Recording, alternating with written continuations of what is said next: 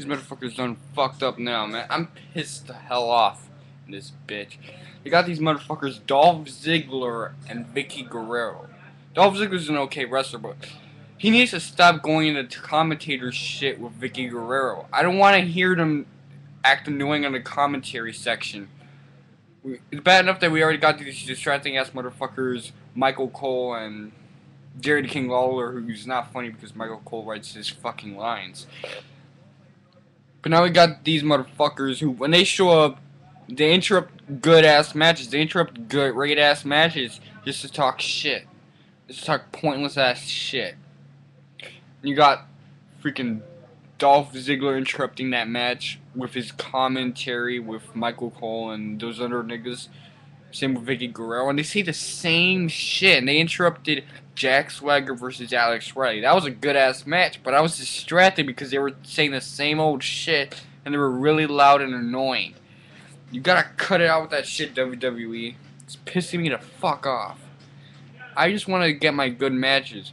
Finally, a good match shows up. Alex Riley versus Jack Swagger. Two guys who deserve to be pushed. And you niggas are just fucking up my shit, man. Stupid ass commentary. And what's next? You got the. What's the United States Championship? I think that thing is degrading even more.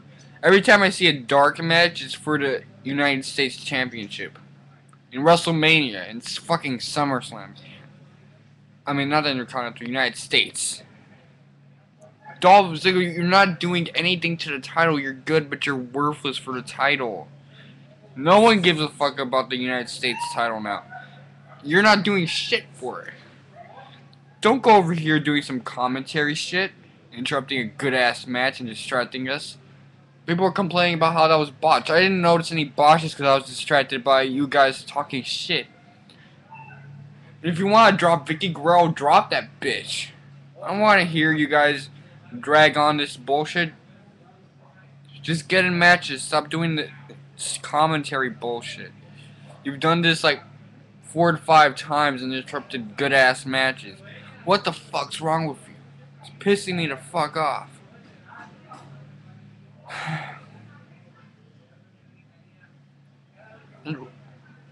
Didn't Vickie Guerrero push Michael Cole's bitch ass? Why is Michael Cole still admiring that ugly ass bitch? Seriously. I can't take it anymore. Just do the right thing. Dolph Ziggler and Vickie Guerrero, for once in your lives, do the right thing. Get in the matches. Stop this commentary stuff. We have a talent deficit.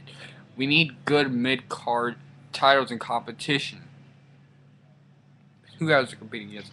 Kofi Kingston, the guy who's destined to be mid carder for life.